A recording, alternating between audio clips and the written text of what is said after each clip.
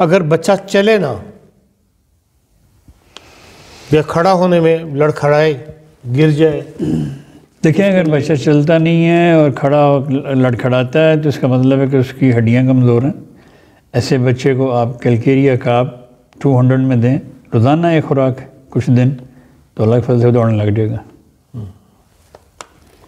तो जो